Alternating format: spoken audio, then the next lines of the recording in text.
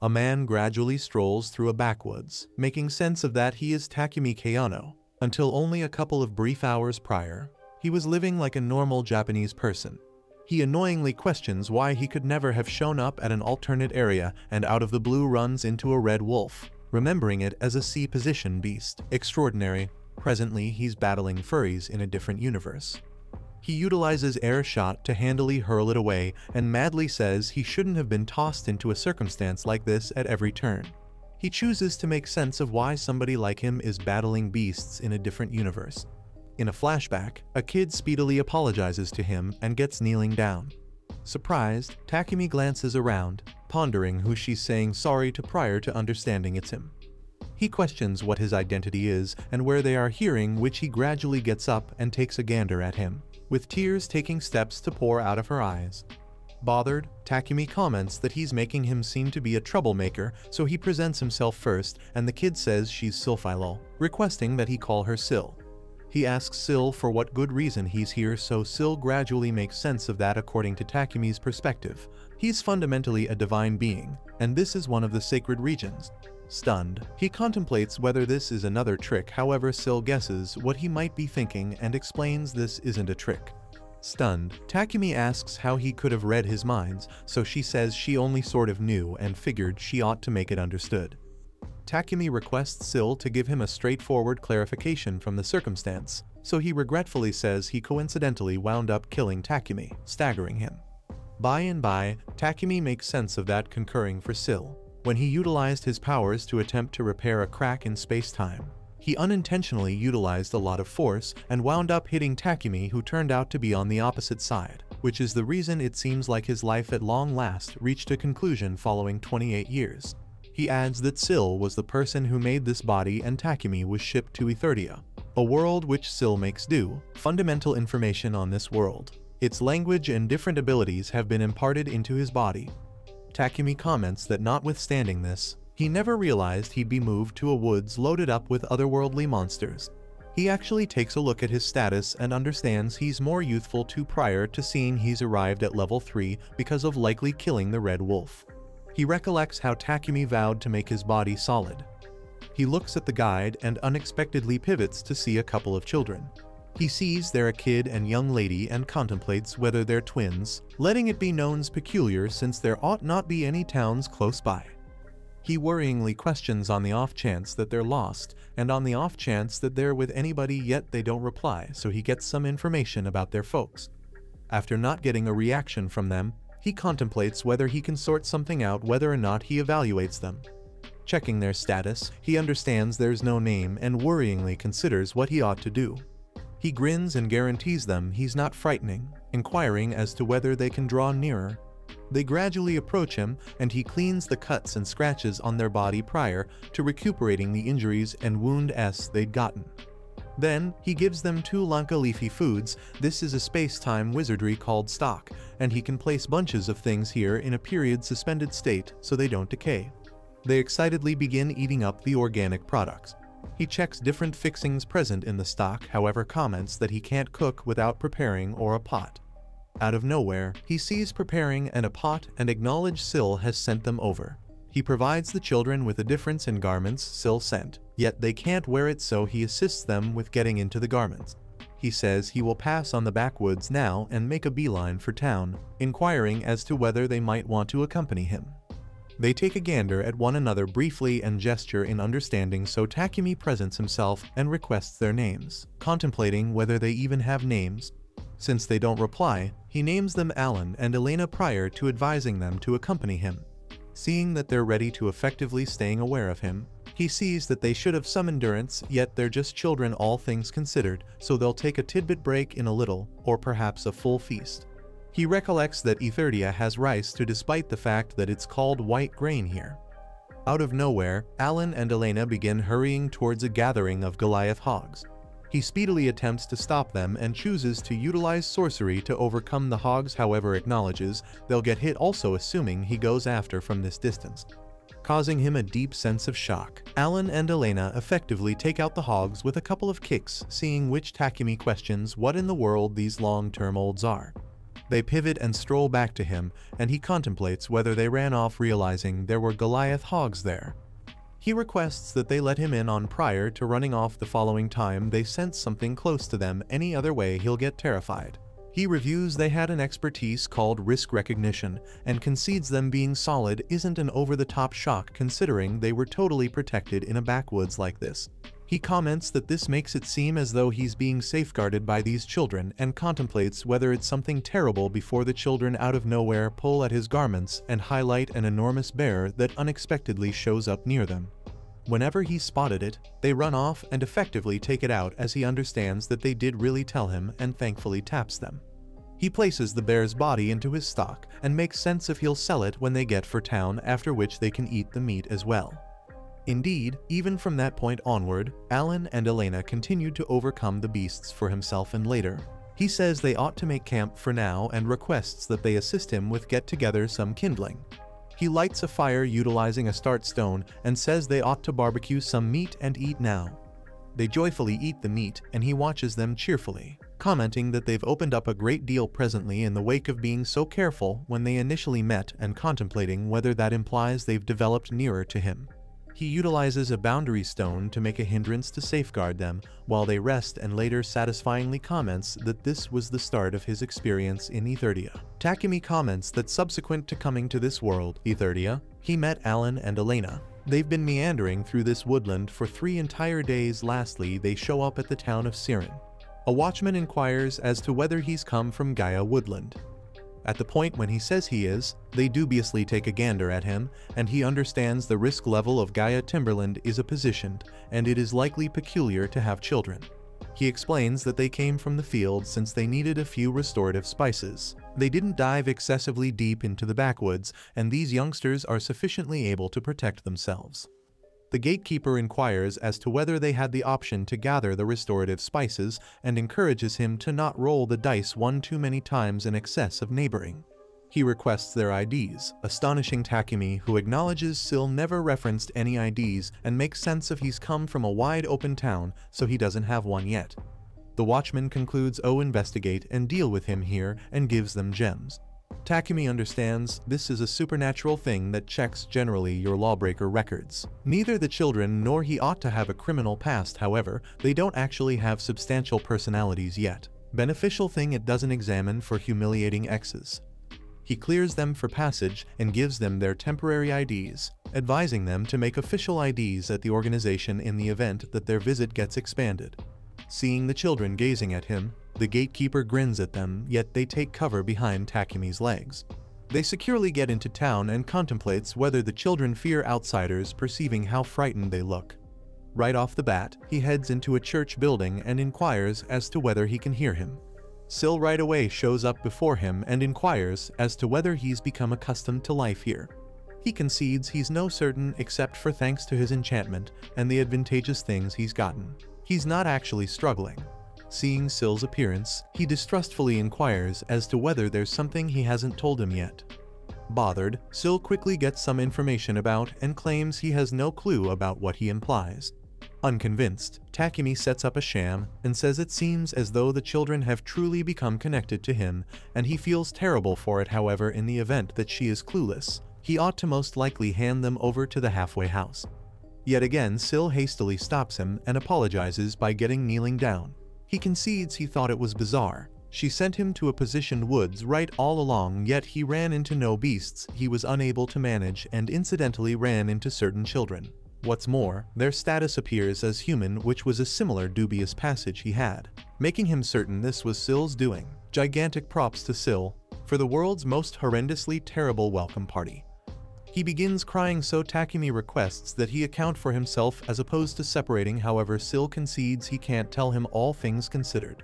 Shocked, Takumi asks Sil if somebody is driving his quietness despite the fact that he's a divine being.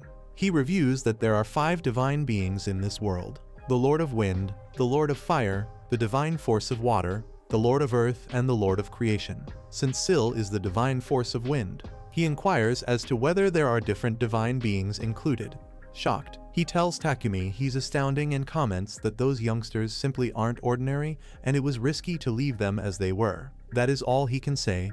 Takumi consents to not ask any longer and inquiries in the event that he's permitted to engage with those children.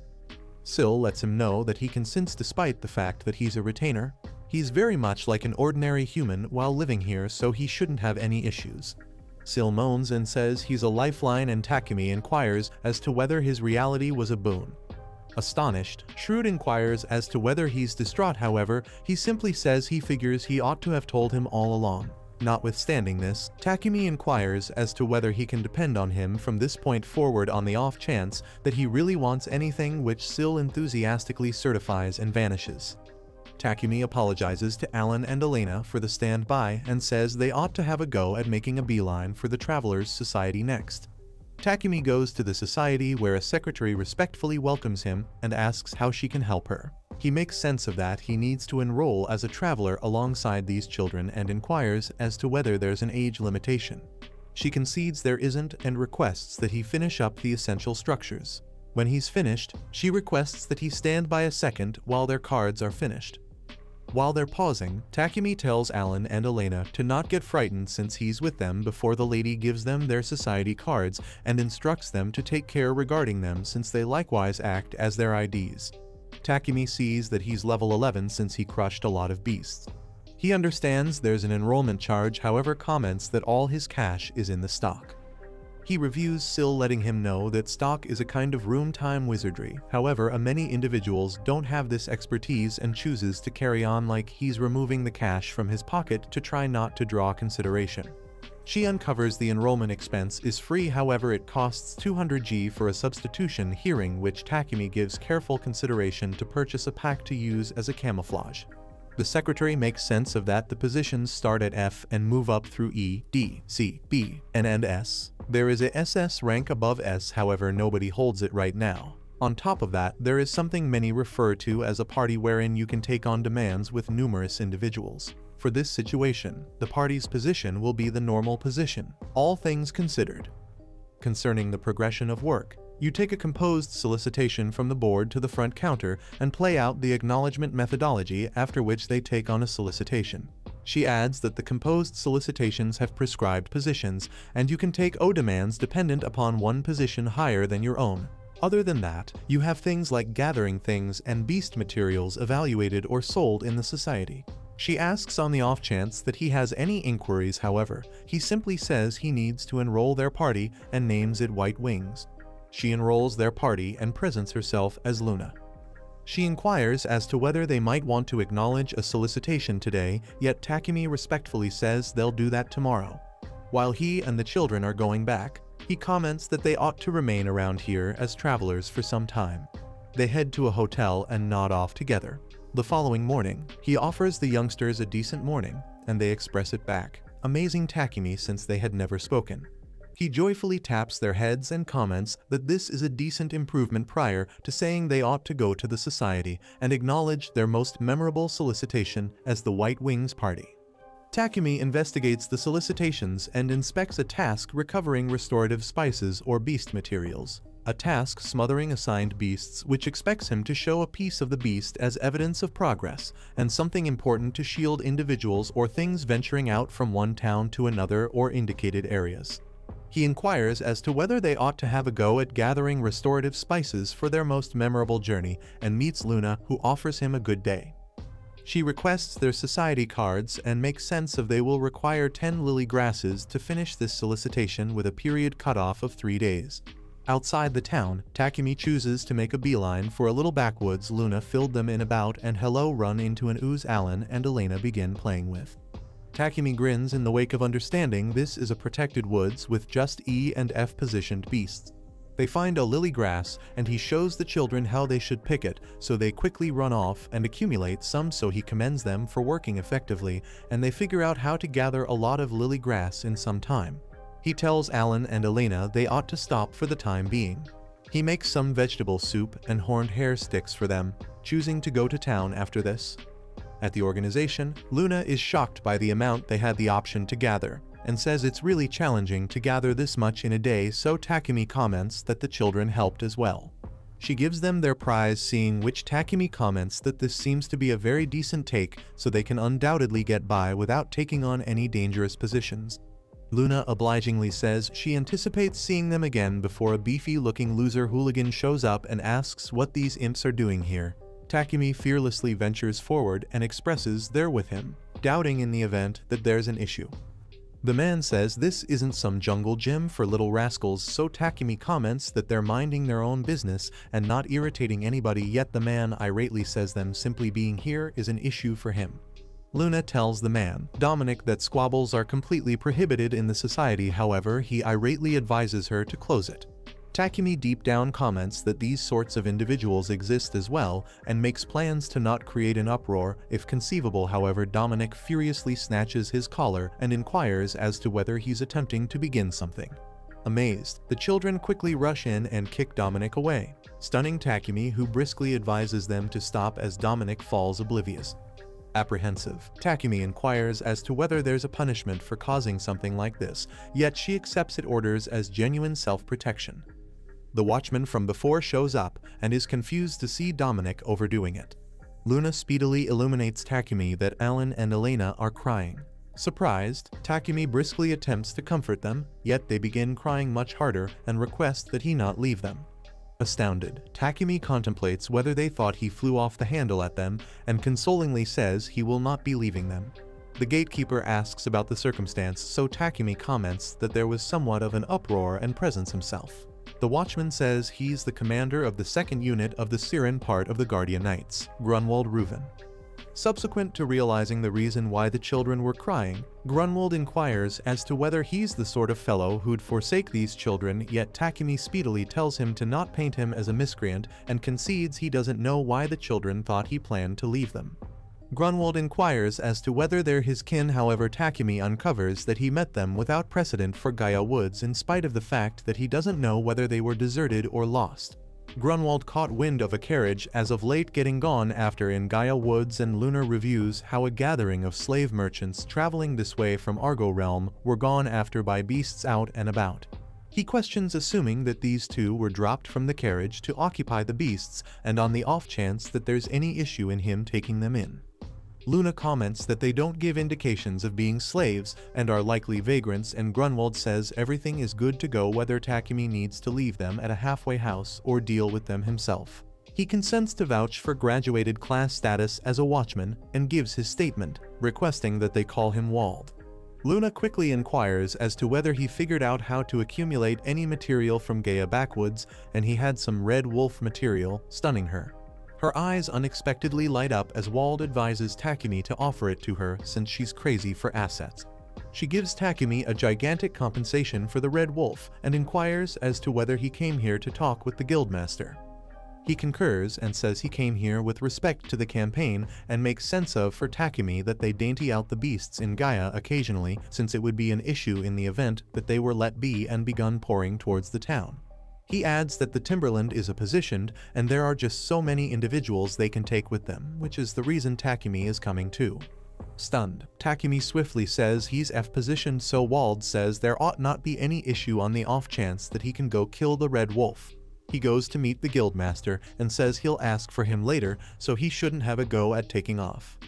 Takumi inquires as to whether he can reject an authority demand, so she concedes he can however a solicitation from the request for knights is a solicitation from the country. He worryingly contemplates whether Alan and Elena will be okay and chooses to leave so Luna advises him to bring back additional interesting materials next time for her. In the meantime, Wald meets the guildmaster and says he needs to accumulate swashbucklers to no one's surprise. He likewise puts an extraordinary solicitation for somebody named Takumi Kayano. The guildmaster concedes the name doesn't sound recognizable so Wald makes sense of he's a F-rank newbie however that doesn't be guaranteed to mean he's normal. Shocked, the guildmaster inquires as to whether he's platitude he recognizes this man.